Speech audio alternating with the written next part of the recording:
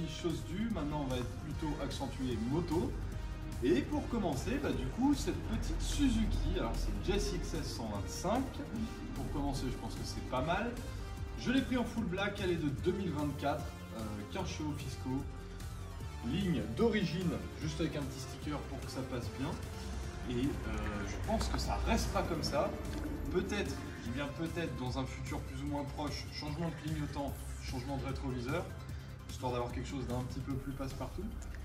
Éventuellement une ligne d'échappement. Ça, on verra.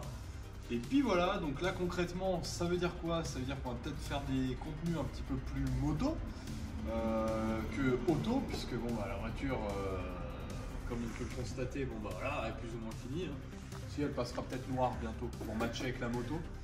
Et puis euh, ce sera une des dernières vidéos avec la voiture, puisqu'après je la vends.